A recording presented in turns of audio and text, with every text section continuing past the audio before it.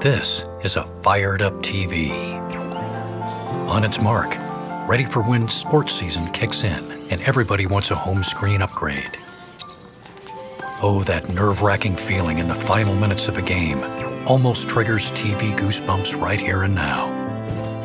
Fortunately, someone saw this TV's need for winning the retail race. Someone who understood that particular urgency.